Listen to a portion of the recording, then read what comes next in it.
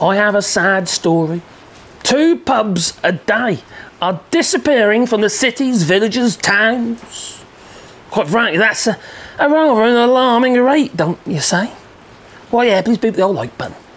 Now, for far too long, we have seen the destruction of uh, our community pubs and the culture and society that they support. Now, Norwich, for instance, my home city, well, it used to be known for having a pub for every single day of the year. well, in 1884, there was even 600 pubs. Blimey, they must have all been alcoholics. But I suppose the alcohol back then, the pint, was only between 2 and 3%. Not like here in France, between 6 and 8%. In fact, you get 22% beer. anyway, today in Norwich, Norfolk, only 130 uh, pubs have survived that neck hold of business rates, inflation, energy costs, etc., and increased alcohol duty since old Richie Sunak's latest blooming policy came into fruition. I think it was last July. Now, what's happened as a result is pub goers have decided to give up on their pubs and uh, take refuge in, I don't know, argument's sake, uh, Tesco's um, booze aisles. Yeah, and white lightning cider in brown paper bags. Well, in Norfolk, seven pubs have already closed their doors this year, and more are on the brink.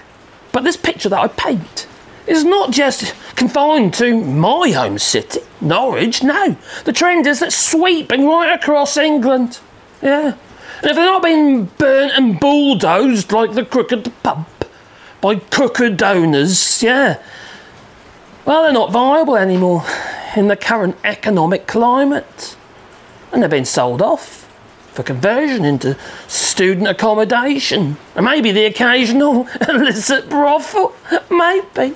Well, nearly 400 pubs have closed their doors already in England and Wales for the first half of 2023 this year. That's almost as many as the whole of 2022. Blimey. So what's it going to be? Six, eight hundred pubs just gone? You see, they support communities, they're meeting grounds, they're places for people to go. You see, since the pandemic and obviously Brexit putting the cost of everything up, well, and lockdowns, people aren't venturing out as they once did. I don't want to get COVID, no. So, what's happening is campaigners, they want to see the planning laws changed. You can't just convert that ex pub into a brothel. well, that ain't gonna happen, is it? No. They're not going to do anything responsible to save the village pub. Why would they? Well, with energy costs up 80 odd percent year on year, and well, low growth, high inflation, high interest rates, an environment that we, well, we're now worrying about the additional costs that might be imposed on people because of that. What choice have we got? We've got to do something. And after, like I say, Sunak's lunatic uh, alcohol budget for breweries or lowering the alcohol to benefit a lower alcohol duty on beer. For instance, Foster's, uh, well, reduced their alcohol to 3.4, well, no, 3.7%. It used to be 4% ABV. Well, a government enforced shrinkflation, I suppose. Same beer, less alcohol. Less of a PN with shorter trousers, you could say, and maybe he's got bigger boots.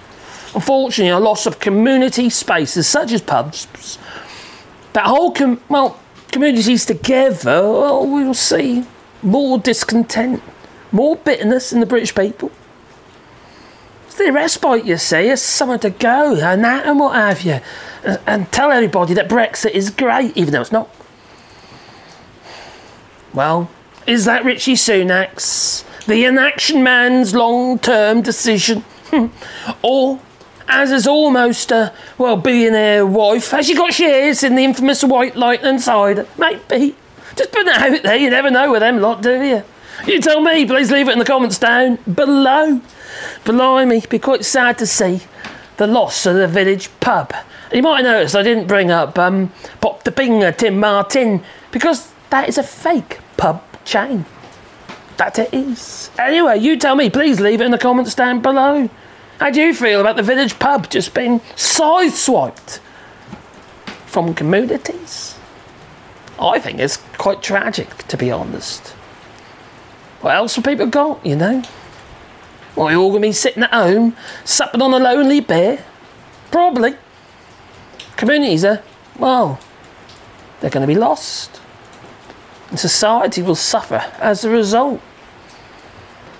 Blimey, we're already saying that, aren't we? You tell me. Please leave in the comments down below. If you support the channel, you do it on Patreon or buy us coffee. And the links are down below in the description that they are. Well, there's a super thanks thing there as well, I think. Yeah. Blimey. Oh yeah, memberships. and if you didn't know already, we are planting trees. We're coming up to the season where we'll be planting trees again in October. I don't know if you hear it, but it's starting to rain. We've got water for once. Now, we stopped planting earlier this year because obviously we need to be able to water the trees. So we've got to start planting again. So anyway, we're planting a thousand trees on two hectares of land. If you want to be a part of that, there's a GoFundMe link down below. And I just had a mad and quite wonderful idea. We're going to be offering arbours. Bear with us. Yes, widow arbours.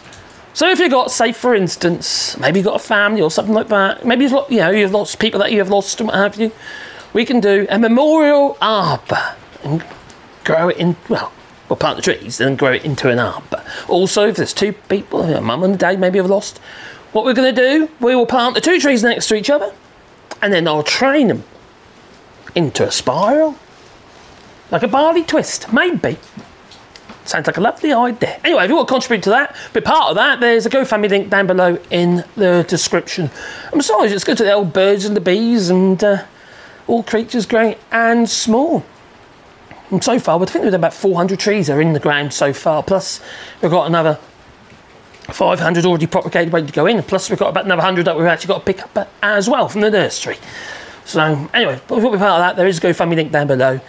And uh, yeah, I think it's a nice idea, don't you? I think so. You tell me what you think. Anyway, ta-ta.